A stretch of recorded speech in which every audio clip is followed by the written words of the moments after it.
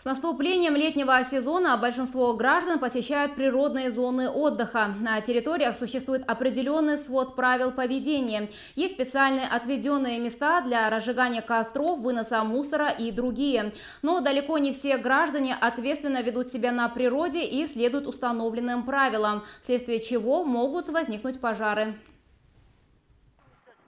Целях предупреждения природных пожаров в регионе проводится комплекс профилактических мероприятий. Так, с начала пожарного периода в сравнении с аналогичным интервалом прошлого года на территории области наблюдается снижение количества лесных и степных пожаров на 100%.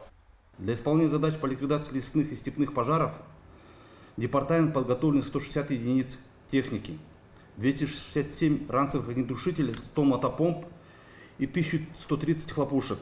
Кроме того, на территории Государственного лесного фонда проводится авиапатрулирование тремя вертолетами и наземное патрулирование 104 мобильными группами. Созданными группами проведено более тысячи совместных рейдов и привлечено к административной ответственности 71 виновное лицо. Из них 42 в виде предупреждений и 29 в виде штрафа на общую сумму более 1 миллиона тенге.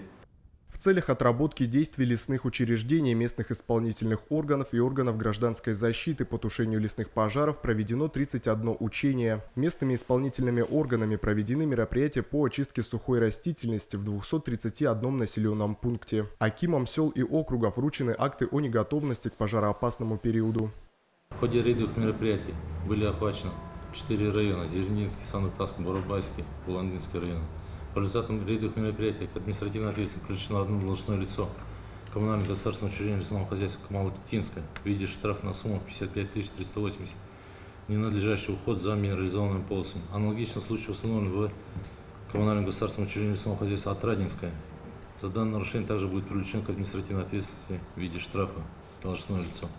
Специалисты отмечают, по состоянию на 15 июля 2024 года на территории Акмолинской области лесных пожаров не зарегистрировано. Это весьма положительный показатель, так как за аналогичный период прошлого года было зарегистрировано 69 случаев возгорания. Эдуард Погребицкий, Боржан Смогулов, Кокщи Акпарат.